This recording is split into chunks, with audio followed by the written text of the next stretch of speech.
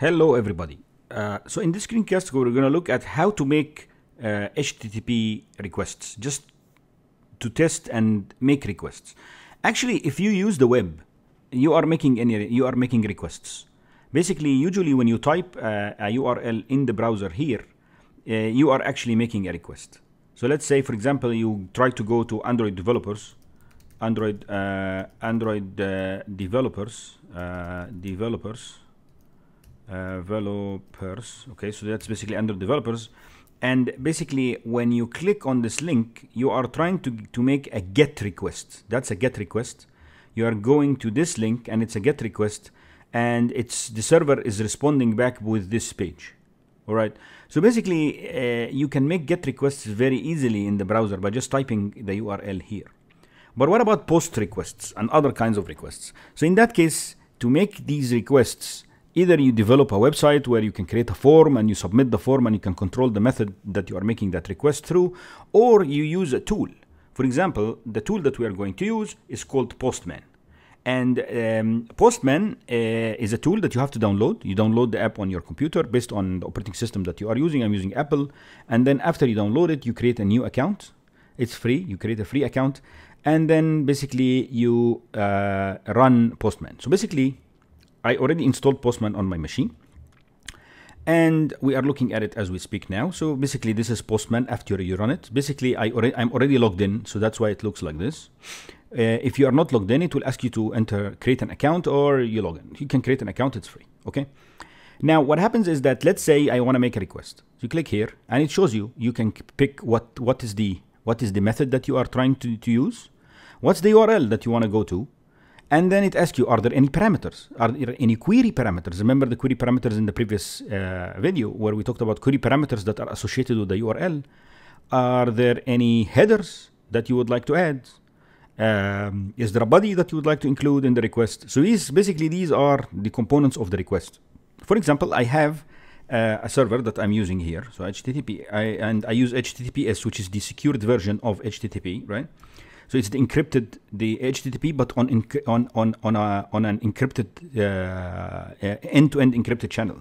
So basically, that's HTTPS. So anyhow, so I'll go here, and uh, the app is on www.theappsdoctor.com. Okay, and basically the uh, API is called contacts. So basically, what's going to happen is that the URL is uh, www.theappsdoctor.com and then forward slash contacts, right? And then that's a GET request. We click on send and basically it returns back something. You can see here the response. It doesn't receive any parameters and it returns back a response that looks like this. It's just a list of a list of contacts and each line you could see here each line is a contact. This is the ID of the contact, the name of the contact and uh, the email of the contact, the phone number of the contact and the type of the contact. It's a cell, contact, office, phone and so on. And you could see that this is one way of representing the data. It's not the optimal. We'll look at JSON uh, in, in the next couple of videos. But that's just to show you that you can make a request. So when you click on send here, we made a request. We received back a response. Okay. And basically, usually what we do is we create a collection. When you create a collection, you can uh, add all the requests that you would like to use because see, I already created a request here. And I have another uh, request that, for example, that looks like this. And it's a search okay? And basically the, the another request that I have is called the search. And that search uh, allows you to search for contacts. So these are the contacts in the system. I would like to search by the name for example. I want everybody who their name starts with an N. All right so uh, I know that it's a question mark and I will say name equals N. All right? And you could see that it already added the parameters for you here. So this is a query parameter. See here this one is a query parameter. There is also another query parameter for this for this service called type and the type say for example is cell. Okay so now I want anybody who their name start with N and they uh, uh, the type is cell. And here you go. Now I don't I am don't I'm not interested in adding the name and I click on send. And basically I'm getting everybody who has cell. So basically the specific functionality of the API or of the service that we are trying to connect to is related to that service per se but what I, what we would like to demonstrate here is that how you pass query parameters. You could see here, I'm passing query parameters in the URL and that service, which is this URL, that service that's sitting at this URL is expecting to get some form of parameters. Let's say, for example, when you check the box, this means the parameter is included in the request. And when you uncheck it, the parameter is not included. You can see here it's included, not included, included. And I click on send. It does that. Let's say I don't add any parameters. It means that there are no parameters in the URL. I click on send. And it says that, oh, no, enter the name and type of the parameters for the search. Notice that this is the response, right? So this is the request at the top. The bottom here is the response. Now look at the status code. It says 400, which is bad request. All right. So basically, this is the status code. Let's say, for example, we uh, include the type, and I click on send, and you could see here the status is 200. This means that it's okay. It went through. So basically, this is the status code. When you look at the response, the response has uh, three main components. One of them is the body, the status code, and the header. Right? We'll look at the header later, but it's the body, the status code. That's the, the response. The request is basically you decide on where are you going to send the parameter based parameters based on the requirements of the uh, the service. So basically, the service here is very simple service where I uh, you just specify a parameter in the in the URL, and you see here Postman allows me to do all of that. Actually, I can call this API because this is a GET request. I can easily take it to the browser and include it in the browser. So let me go open a, a Chrome uh, browser, okay? And I click here, and you could see here that it does return back. You could see here it I can make a GET request, and in the browser I can do that, you know. But Postman allows me to pick all these types, all these methods, okay? All right. So basically, we are looking now at Postman and how Postman allows me to do all these methods. All right. So now you could see that I have all these requests and I would like to share them or store them with somebody. You could see I could save them or I could don't save. I don't need to save them. I already have them saved. So I don't save them. If you look at collections, you can create a collection. You just create a collection. You create, say here, create new collection. You give it a name and so on. And then basically the collection that I created is here. You see here, these are the contacts that I, uh, I just created. You could see here, this is a get. This is the get I store them. For example, this is the contacts. I click here. It gets me the contacts. Here it is. Right? And then there is a search. Here's the search that we looked at. I could search for everybody who their name starts with an S and uh, home. Or, for example, only home. Here it is. It returns people who are home. And you could see home has R and W. So, for example, let's say uh, I want somebody RH. I click on send, and basically it returned uh, I need to check the name and do this. It returned only this person. So anyhow, so you could see that I can pass parameters in the uh, URL. Okay, usually get requests, you say, pass the parameters in the URL. All right. Now, what if I want to get a specific user? That's one approach. The, the first approach is you pass the parameters in the URL after after the question mark as a query parameter. So you can add parameters as query parameters. Parameters can also be added to the URL itself.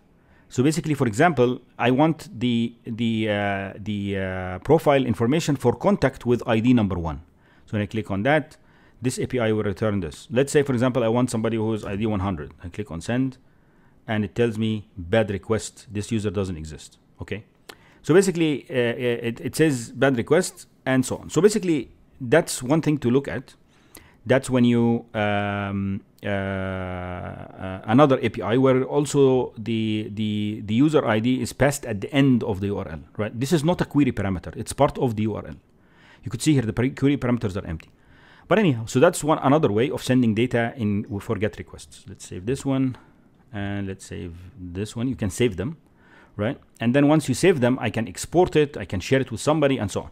Now, another API which is creating a creating a creating a contact. You can see here when you create something, this means you want to post this data to the server. You know, you're creating something, right? Creating or updating or editing something. You're creating it. You're posting some new data or data to the server. And in that case, we will use the uh, post. So basically, that request uses the post request.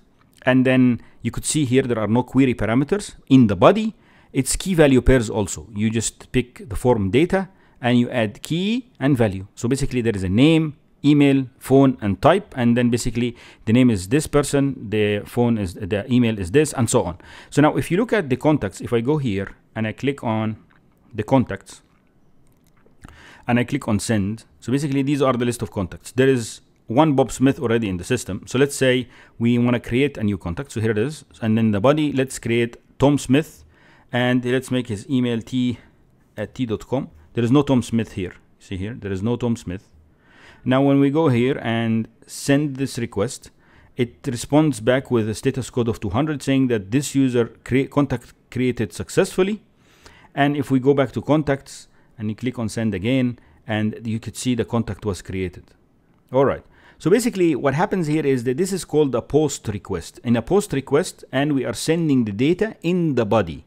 So basically in the previous search, for example, we sent the data in the URL as query parameters. In here, or a query string.